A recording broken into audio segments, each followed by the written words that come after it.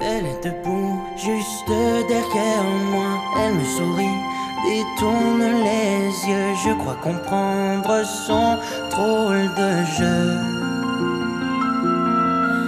Quand je le vois, je